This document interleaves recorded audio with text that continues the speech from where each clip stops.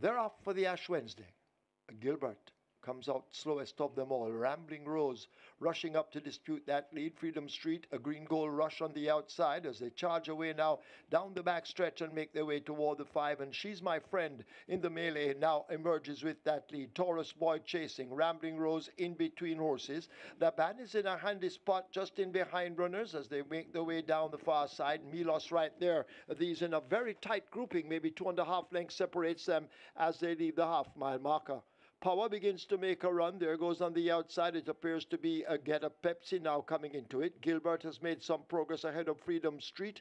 A green goal rush on the outside and a money monster now at the back of the field in the Ash Wednesday as they come charging past the 516th. It's wide open. She's my friend and Abigail Abel on the rail. Rambling Rose kicking in on the outside. These two going at it. Taurus Boy looking for room in between them and finding it. Laban now wound up for a burst down against the rail. It is Rambling Rose just the leader in the center. Watch Taurus Boy now kicking in and Taurus Boy now looks to have it. Laban is storming forward down against the rail. Get a Pepsi now begins a charge, and out wide it's a green goal rush. It's anybody's race. Taurus Boy on the far side. Green goal rush nearest to us with Get a Pepsi. Green goal rush, Get a Pepsi. Green goal rush may just have done it over Get a Pepsi.